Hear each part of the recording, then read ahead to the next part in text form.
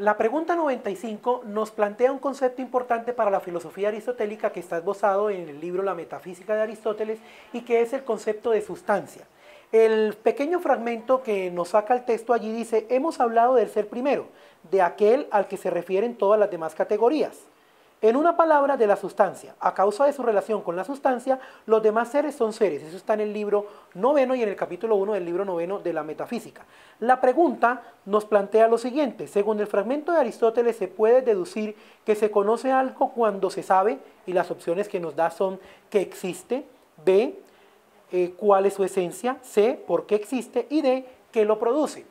Si hablamos de la sustancia y si hablamos de ese hombre primero, de la causa primera, es aquello que lo compone, lo que permite, lo que lo conforma, lo que hace que los demás sean una especie de copia o de repetición de lo que ese es.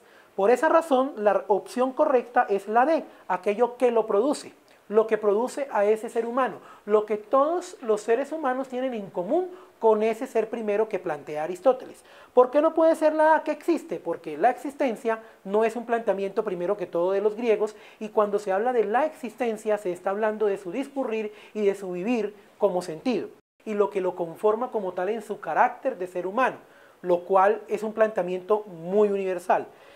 ¿Por qué existe? No es la pregunta básicamente de la sustancia. La sustancia lo que está allí es aquello que lo produce, lo que permite que sea un hombre primero, lo, lo, que permite que haya un primer hombre, y ese es el concepto de sustancia en Aristóteles que se define como aquello que produce al ser humano. Por eso la opción correcta es la D.